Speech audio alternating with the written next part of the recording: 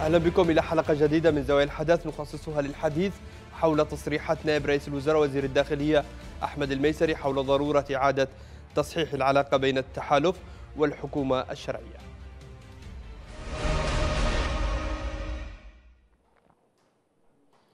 دعا نائب رئيس الوزراء وزير الداخلية أحمد الميسري إلى اعاده تصحيح العلاقة والشراكة بين الشرعية والتحالف حيث قال أن الشراكة مع التحالف كانت على أساس تحرير المناطق من سيطرة ميليشيا الحوثي وليست لإدارتها. أضاف الميسري أن شراكة الحرب من المفترض أن تكون باتجاه الشمال وليس الشرق. تأتي هذه التصريحات بعد أيام من استحداث قوات التحالف مواقع عسكرية لها في محافظة المهرة. نتوقف عند هذا الخبر لنناقشه في محورين.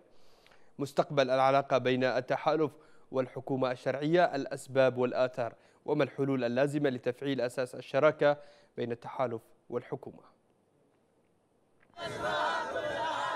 بلا توقف ومنذ مطلع العام الماضي لا يزال أبناء المهرة يواصلون احتجاجاتهم ضد النفوذ السعودي رافعين مطالب تنادي بخروج القوات العسكرية السعودية والميليشيات التابعة لها وبسط سيطرة الدولة على كامل تراب المحافظة. في فبراير الماضي عززت السعودية قواتها العسكرية إلى مديرية حوف بهدف السيطرة على مقر قوات خفر السواحل ما جعل أبناء المهرة ينفذون اعتصاما مفتوحا أمام منفذ صرفيت لمنع أي استحداثات عسكرية. وأعلنت اللجنة المنظمة للاعتصام السلمي تعليق فعالياتها أمام المنفذ خلال شهر رمضان مؤكدة أن هذا التعليق قد ينتهي في أي لحظة. إذا ما فكرت الرياض باستقدام أي تعزيزات عسكرية عبر المنفذ. المشهد السياسي والشعبي في المهرة يبدو متماسكا خلافا لما هو في بقية المحافظات التي تقع تحت النفوذ السعودي الإماراتي. وظهر ذلك من خلال دعوة القوى السياسية بالمهرة إلى رحيل القوات السعودية. ووصف البيان الصادر عن القوى السياسية التحركات السعودية بالمهددة للسلم الاجتماعي معلنة انضمامها لاعتصام أبناء المهرة محملة الرئيس هادي مسؤولية ما يحدث شاركتنا في الحرب على وليست الشراكة في إدارة المناطق المحررة لكن ما الذي يحدث في المهرة؟ وفق مراقبين فإن ما يجري ليس سوى انعكاس للصراع غير المحسوم حول طبيعة العلاقة بين الشرعية والتحالف. وقد ظهرت التصريحات الأخيرة لوزير الداخلية أحمد الميسري لتؤكد على أن الوجود السعودي الإماراتي في اليمن يجب أن يذهب باتجاه تحرير الشمال من ميليشيا الحوثي وليس باتجاه إدارة المناطق المحررة. بداية ينضم إلينا من الرياض مستشار وزير الإعلام مختار الرحبي أهلا بك أستاذ مختار. أهلا وسهلا بك وبالمشاهدين الكرام جميعا. بداية لو نتحدث عن دوافع التحالف اليوم في الاستمرار في تجاهل الحكومة في إدارة المحافظات المحررة. لا يوجد هناك أي مبرر منطقي يمكن القبول به آه، آه، يعني من قبل التحالف العربي في الإبقاء على بعض السياسات آه، في عدم منح الحكومة احقيه ال ال ال ال يعني إدارة المناطق المحررة وإبقائها بيد آه، مجموعات خارج إطار الدولة خصوصا في المناطق الجنوبية التي تقبع تحت إدارة ميليشيات مسلحة خارج إطار الدولة، بالتالي لا يوجد هناك أي مبرر سوى إضعاف الحكومة الشرعية وإضعاف أيضا دور التحالف العربي الذي جاء من أجل آه، دعم الشرعية والوقوف مع الشرعية، بالتالي أي إضعاف لدور الحكومة هو بالضرورة إضعاف لدور التحالف العربي ويعني تحقيق أهدافه المعلنة التي هي إعادة الحكومة واعاده الدولة والحكومة الشرعية وكذلك القضاء على الانقلابيين. طيب ما هي دوافع هذا؟ طيب ما وصفته بالاضعاف طيب أستاذ مختار ما وصفته بإضعاف دور الحكومة الشرعية وقلت أنه ربما ينعكس أيضا على أداء التحالف ويضعف دور التحالف، ما هي دوافع هذا الإضعاف؟ لماذا؟ دوافع الاضعاف هي أن للأسف الشديد آه، حاولت دولة الإمارات الحصول على آه، آه، بعض الامتيازات في المناطق المحررة خصوصا في المناطق الجنوبية وهي مناطق استراتيجية منها منطقة أو محافظة سقطرى الجزيرة التي تسمى جزيرة الكنز التي تقع في منطقة استراتيجية وأيضا جزيرة ميون التي كانت شرعت في بناء قاعدة عسكريه، أيضا ميناء عدن والساحل الغربي ومضيق باب المندب، هناك كثير من المناطق التي حاولت الحصول على امتيازات فيها ولكن شرعيا لم تمنح آه، الإمارات هذه الامتيازات، بالتالي عمدت على آه، إنشاء ميليشيات وكيانات سياسية من أجل أن تمنحها الاستمرارية والبقاء في هذه المناطق مع أن هذه أيضا حتى التشكيلات والمكونات السياسية التي أنشأتها الإمارات ليس لها أي شرعية. وهي لا يمكن لها الحديث بانفراد عن المناطق الجنوبية وعن الجنوب لأنه مكون من ضمن عشرات المكونات الجنوبية التي لا تقبل الاماراتي في المناطق الجنوبية، بالتالي حينما رفض فخامة الرئيس والحكومة الشرعية منح امتيازات الإمارات عملت على إنشاء هذه الميليشيات وهذه التكتلات السياسية لمنحها استمرارية البقاء في آه، آه، المناطق الجنوبية وهو ما أثر وانعكس على أداء الحكومة وأيضا أثر على أداء أيضا حتى التحالف العربي. وجعلنا آه، يعني حتى هذه اللحظة ثلاث سنوات ونصف تقريبا منذ تحرير مدينة عدن. ومدينة عدن تغرق في الميليشيات مدينة عدن تغرق في سوء الخدمات. مدينة عدن حتى هذه اللحظة لم يتم افتتاح قنصليه واحدة ولا سفارة واحدة. وهذا هو رد على إبقاء مدينة عدن خارج إطار يعني الدولة والتصرف فيها من قبل مجموعات وتشكيلات مسلحة متمردة على الدولة وعلى الشرعية. طيب ارحب أيضا بضيفنا من الرياض المحلل السياسي السعودي سلمان عسكر أهلا بك أستاذ سلمان.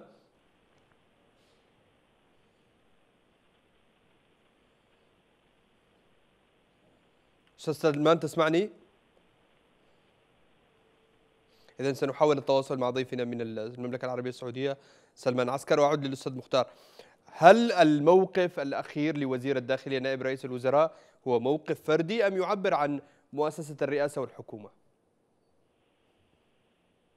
آه آه نائب رئيس الوزراء هو لا يتحدث بشخصه آه المنفردة كشخص أحمد الميسري هو يتحدث بصفته نائب لرئيس الوزراء وهذا طبعا الحديث عن إعادة تقييم العلاقة مع التحالف و يعني تصحيح العلاقة مع التحالف نادى به كثير من المسؤولين وعلى رأسهم نائب رئيس الوزراء وكذلك وزير النقل وكثير من الوزراء والمسؤولين يتحدثون بكل صراحة أنه لا بد من إعادة تقييم العلاقة، لا بد من تصحيح العلاقة، نحن نتحدث دائما أن انتقاد التحالف لا يعني بأي حال من الأحوال أن من يتحدثون أو من ينتقدون التحالف أنهم يقفون ضد التحالف، وأيضا لا يعني أنهم يعملون آه، ضمن مشاريع أخرى، لا الانتقاد هو لتقييم الوضع، هو لتقويم آه، آه، الأخطاء. وهو أيضا الانتقاد يأتي من باب تصحيح تصحيح العلاقة والعودة لتنفيذ الأهداف الرئيسية التي جاء التحالف من أجلها وهي إعادة الشرعية والدولة، حتى لها أربع سنوات الشرعية لم تعد لم تعد الدولة إنما عادت كيانات وتكوينات وميليشيات مسلحة يعني تتلقى الدعم الوفير وتتلقى الرعاية الكاملة من آه، آه، دولة الإمارات العربية المتحدة. لذلك آه، يتحدث نائب رئيس الوزراء بأنه لا بد من إعادة العلاقة وإعادة تصحيح هذه العلاقة مع التحالف العربي. وأنا أعتقد أن هذا الحديث لا بد أن يتم استيعابه من قبل دول, طيب. دول التحالف العربي والعمل به والجلوس مع القيادة الشرعية والحديث بكل صراحة وشفافية. وإعادة تقييم آه، آه، آه، أربع سنوات من التحالف العربي، ما الذي تم إنجازه؟ ما الذي لم يتم إنجازه؟ من هو السبب الذي يؤخر تحرير باقي المناطق؟ من الذي يقف أمام عودة رئيس الدولة والحكومة إلى مدينة عدن؟ من الذي يدعم الميليشيات؟ كل هذه أسئلة لابد أن يتم الإجابة عليها ووضع حلول جذرية لها. طيب تبقى معنا أستاذ مختار وأرحب مرة أخرى بضيفنا من المملكة العربية السعودية المحلل السياسي السعودي سلمان عسكر أهلا بك أستاذ سلمان. مرحبا حياك الله. اذا آه، استمعنا بالأمس آه، ربما كان الخبر الأبرز تصريح نائب رئيس الوزراء وزير الداخليه أحمد الميسري. في هذا التصريح قال أن الشراكة مع التحالف كانت ربما على أساس تحرير المناطق من سيطرة الميليشيا وليس لإدارتها. هل يعني هذا أن التحالف اليوم أخل بمحددات الشراكة؟ اولا في البداية احييك احيي ضيوفك في الاستديو واحيي المشاهدين وكل عام وأنتم بخير بمناسبة شهر رمضان. كل عام وأنتم بخير. آه، عزيزي البعض قد أنا لا أعلم بصراحة عن تصريح وزير الداخلية في الحكومة الشرعية وماذا قال بالتحديد. آه، قد يكون أن البعض آه، يعني أخطأ التفسير أو قد يكون أخطأ في أسلوب الكلام هذا شأنه في الأخير هو صاحب القرار هو الرئيس الشرعي وليس وزير الداخلية هو الرئيس عبد رب عبد ربه منصور هادي آه، الرئيس الشرعي ل طيب أنا أنا ممكن أن أقرأ لك أهم ما جاء في تصريح نائب رئيس الوزراء وزير الداخلية هو دعا إلى إعادة تصحيح العلاقة والشراكة بين الشرعية والتحالف وقال أن الشراكة كانت على أساس تحرير المحافظات اليمنية من سيطرة ميليشيا الحوثي وليس لإدارتها. وقال أن الشراكة الحرب المفترض أنها تذهب باتجاه الشمال لتحرير هذه المحافظات من الحوثي ليس بالذهاب باتجاه الشرق. وأيضا تحدث عن نقاط أخرى لكن الأبرز هاتين النقطتين. عموما آه، إذا كان قال مثل هذا الكلام فأعتقد من وجهة نظري كمتابع للشأن وكمتابع من انطلاق بداية انطلاقة عصرة الحزم التي أتت بطلب شرعي لمواجهة انقلاب حوثي في اليمن وليس في مناطق معينة أو محددة دون غيرها. الحوثيين أيضا وصلوا إلى الجنوب آه، سيطروا على عدد من المواقع في الجنوب من أخرجهم من الجنوب هو التحالف العربي وقوات الجيش اليمني لا يزال هناك مواقع يسيطر عليها الحوثيين في بعض المناطق الشمالية الشرقية والشمالية بحاجة إلى اتحاد وقوة ما بين التحالف والشرعية. ولا أعتقد إن مثل هذه الكلمات سواء من وزير الداخلية آه، قبل كذا أو قبل هذا الوقت تكلم بعض الوزراء ومن دون ما أذكر أسماء وحاولوا أن يشوشروا على الشرعية وعلى التحالف. ولا نعلم هؤلاء يعملوا لصالح من؟ وضمن أي فريق هم آه، يعملوا بالتأكيد هؤلاء الوزراء أستاذ سلمان يعملون لصالح الجمهورية اليمنية وأدوا اليمين الدستورية. أنت تتحدث ربما عن وزير النقل ووزير الداخلية ووزير الخارجية وأيضا هناك مسؤولين آخرين تحدثوا عن المطالبة بإعادة تصحيح العلاقة والتحالف ما في شك عزيزي ولكن يعني البعض قد يأتي بآراء ليست رأي الحكومة الشرعية. أنا عندما آتي برأي شخصي فهو يمثل رأيي الشخصي. ولا يمثل راي الحكومة الشرعية، من المعروف والمتفق به والمعترف به عالميا آه، دوليا هو شرعية الرئيس عبد الرب آه، منصور هادي هو الرئيس الشرعي هو الذي طلب التحالف، التحالف أتى إلى اليمن لانقاذه من العناصر الانقلابية التي عادت فسادا ولا تزال حتى يومنا هذا، البعض قد يفسر سيدي هذه الأمور من جانب إعلامي لمصالح شخصية معينة كما تشاهد قبل أسبوع تم عرض حلقة للرئيس الشهيد إبراهيم الحمدي رحمه الله.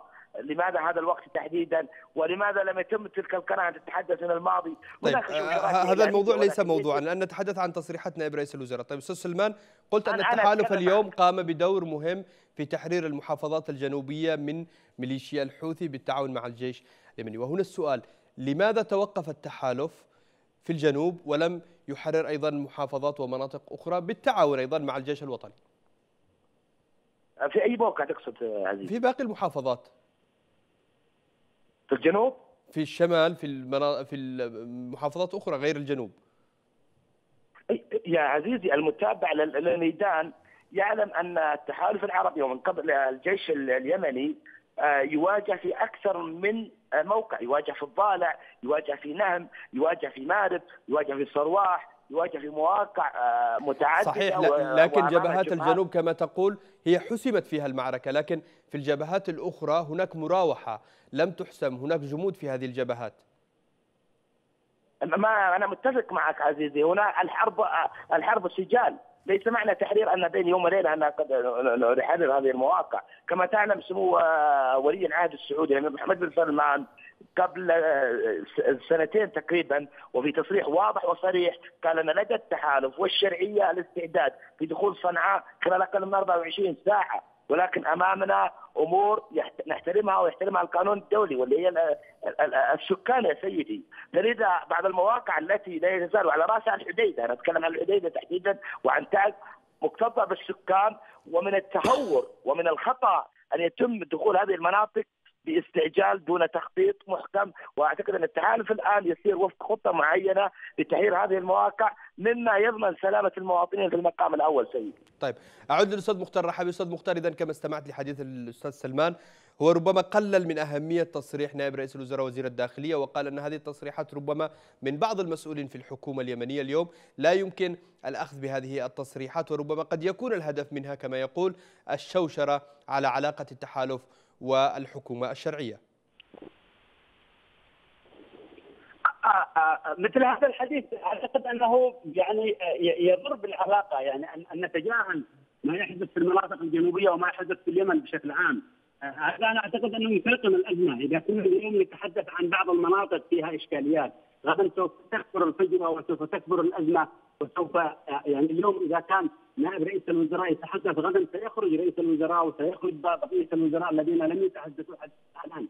هي رسائل فقط التي توجهها شرعية للتحالف العربي عبر مسؤولين آه، آه، مسؤولين آه، يعني محسوبين على الشرعية. يعني حينما يتحدث الرجل الثاني في الحكومة وهو نائب رئيس الوزراء ويقول زميلنا المتحدث الاستاذ سليمان سلمان عسكري يقول أنه الغرض منه الشوشره هذا أعتقد أنه كلام غير منطقي، هناك إشكالية حقيقية، علينا اولا أن نعترف أن هناك إشكالية حقيقية بين الشرعية وبين التحالف العربي، علينا إيجاد هو يقول أنه لا يمكن أخذ الموضوع على محمل الجد والقول أن هناك إشكالية في العلاقة. يعني ما دام أن الرئيس عبد الرب منصور هذا الذي طلب تدخل التحالف لم يصرح بشيء حتى الآن. هذا مكتوب على الاطراف الأخرى، هذه التهم هذه التهم يجب علينا أن نتحدث بتجرد وأن نوجد حلول للإشكاليات، لا أن نرمي السهام على كل الرجال، لا أقول أن الرئيس الاخوانجي ورئيس الحكومة والميسر وعظ واللجنه الدائمه هم يعقل اليوم أن نقول أن هذا الرجل اخوانجي وأنه يدعم الإصلاح وان له أجندة خارجية، هذا كلام غير معقول. ولا يمكن أي أحد أن يقبل به. طيب، أستاذ مختار كيف أثرت آه هذه التوترات في العلاقة ما بين الحكومة والشرعية على مسار الحرب ضد ميليشيا الحوثي؟ طبعا اثرت بشكل كبير جدا. آه، بدل أن نجتمع جميعا نحن والأخوة في التحالف العربي على إيجاد حلول آه، أو لنتوحد في الجبهات أصبحنا الآن نخوض حروب بينية. وبعض آه، الأطراف تقوم بالنيل من الحكومة ومن أطراف الحكومة ومن أحزاب يعني في الشرعية. وتقوم بالتسريب وتقوم بالنيل منها وأيضا يعني في الحكومة لابد أن ترد على هذه الاتهامات ولا بد أن ترد على هذه الهجمة. بالتالي آه، أخذت الأزمة بان تكبر والفجوه أن تكبر توقفت الجبهات. هناك إشكاليات هناك يعني أحاديث في وسائل الإعلام. اصبح هناك تجنيد خارج إطار الدولة. أصبحنا اليوم نتحدث عن إشكاليات تتعاظم يوما اثر آخر. لم يتم معالجه هذه هذه الأزمة والجلوس مع الشرعية ومع التحالف العربي وإيجاد حلول جذرية لهذه الإشكالية، أنا أعتقد أنها ستؤثر تأثير كبير جدا على الحكومة وكذلك على التحالف العربي وكذلك على مسار المعارك في أرض الميدان. طيب أستاذ سلمان البعض اليوم يقول أنه من الأجدى في هذه المرحلة هو التركيز على تحرير باقي المناطق من آه، الذهاب نحو الخلافات البينية التي أشار لها الأستاذ مختار الرحبي وأنها ربما أثرت كما يقول على سير المعارك المعركة الكبرى ضد الانقلاب وإسقاط انقلاب الحوثي واستعادة الدولة. شوف عزيزي يعني يعني نكون واضحين شوي من بداية انطلاق عاصفة الحزم بعد انطلاق عاصفة الحزم شهرين أو ثلاثة اشهر اشيع واعلن عبر منابر إعلامية متعددة أن هناك خلاف بين التحالف العربي والشرعية. الآن بعد أربع سنوات يعاد هذا الموال هذا أمر طبيعي وهذا حرب إعلامية وهذا شيء وارد. لا محال منه. لكن يعني كان من المفترض أن نسلط أنا والأخ مختار وأنتم وال... يعني الذين يهمهم اليوم في المقام الأول الضوء على الخلافات الحوثية. هناك خلافات بين القيادات الحوثية للأسف لم تتطرق لها وسائل الإعلام. هناك قيادات مفقودة للحوثيين. هناك صراع على السلطة حاليا مع عبد الملك سواء من جانب محمد الحوثي والكيانات الأخرى، عموما ليس هذا محور الحديث ولكن من أجل الإشارة والتنبيه فقط. بالنسبة لسؤالك يا عزيزي كما تعلم أن الحرب في اليمن حرب عصابات الآن حاليا تواجه عصابات لا تواجه جيش منظم. حتى نقول بأن تم السيطرة على موقع معين أو تم استعادة أو تم ما شبه ما شابه ذلك، الآن أنت تحارب أناس في قمم الجبال في الأودية عبارة عن عصابات متفرقة. من الصعب أن نقول بأن سيتم تحرير الحديدة غدا أو خلال شهر أو شهرين. الحديدة الآن كما تعلم هناك اتفاق السويد لم يلتزم الحوثيين فيه في الأصل.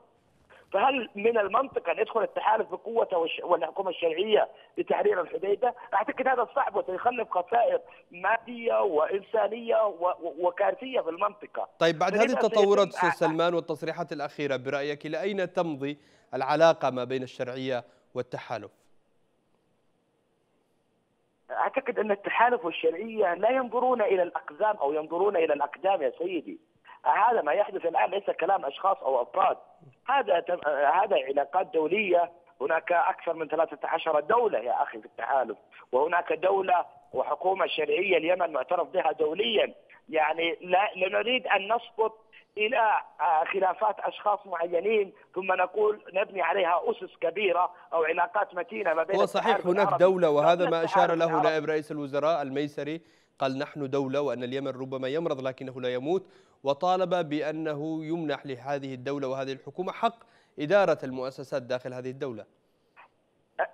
صحيح من حق الوزير أن يقول إدارة الأوضاع داخل اليمن وأنا أؤكد لك أن من حق الشرعية أن تدير الأوضاع داخل اليمن وهذا حق مشروع ومن عادة التحالف انه لا يتدخل في شؤون الدول الأخرى، التحالف أتى تحالف عربي لمهمة معينة مثلما أتى تحالف دولي لمهمة معينة في آه، سوريا وفي غيرها من بلدان العالم، هناك تحالفات دولية. يا- ما يحدث الآن من التحالف العربي في اليمن هو دعم للشرعية وليس إدارة للأمور داخل اليمن، اليمنيين هذا شأنهم ال- ال- اختيارات المناصب ما شابه ذلك، إدارة الأمور، إدارة اقتصاد اليمن، هالامور كلها بيد اليمنيين. طيب سأنقل هذه فقط. لمختار الرحبي. أستاذ مختار كما استمعت لحديث الأستاذ سلمان يقول أن اليمنيون الآن هم من يديروا لكن التحالف هو يقدم الدعم والمساندة هناك حكومة وهناك رئاسة ووزراء ومسؤولين وفي كل ال- المناطق ال- اليمنية عن أي مطالبات تتحدثون باستعادة حق لإدارة ال- البلاد تفضل. يلا أستاذ مختار تسمعني؟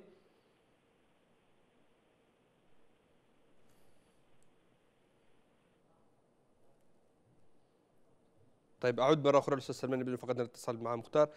اليوم وزير الداخلية وأكثر من مسؤول أستاذ سلمان يطالبون بإعادة تصحيح العلاقة ما بين التحالف والشرعية بعد أربع سنوات من انطلاق عاصفة الحزم. من وجهة نظرك كيف يمكن إعادة تصحيح الع- العلاقة والتركيز كما قلت على الهدف الرئيسي في إسقاط الانقلاب واستعادة الدولة؟ شوف المشكلة سيدي يعني لازم نتكلم بوضوح. هناك وزراء في الشرعية يعني لا أعلم هل هم يصرحون باسم الحكومة أم يصرح باسم شخصية.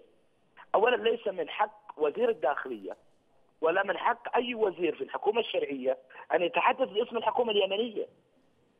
هو نائب رئيس الوزراء. لابد أن نعرفه جم...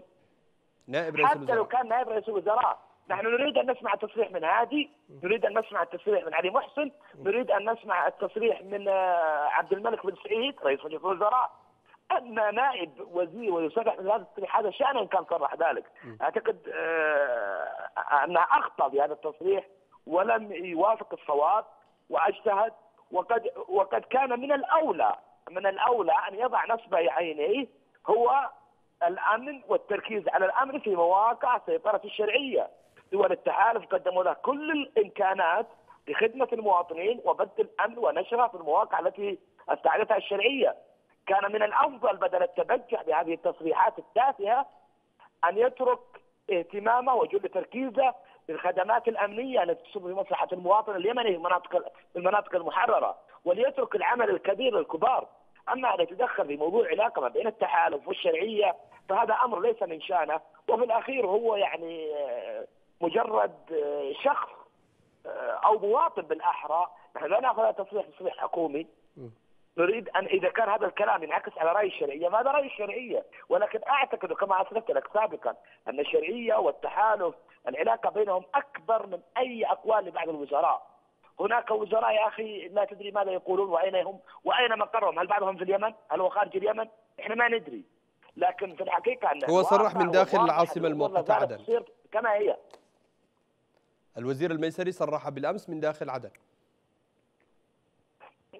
معليش يعني أنت تعرف أن أحداث تحصل في عدن، هناك من يطالب بالانقسام، هناك من يطالب بوضع، هناك من يطالب، وهناك من يطالب، قد تكثر الأقاويل، لكن في الأخير التحالف أمام مهمة رسمية وشراكة مع الحكومة الشرعية لا يمكن أن تؤثر فيها أقوال. كثير غير أكبر أك هناك مناصب وأشخاص أكبر من الميسري تكلموا ولكن لا يعني كلامهم في الأخير شيء لأن هناك حكومة شرعية هناك الاتفاق معها وهناك الاهتمام بها وهناك الدعم لها.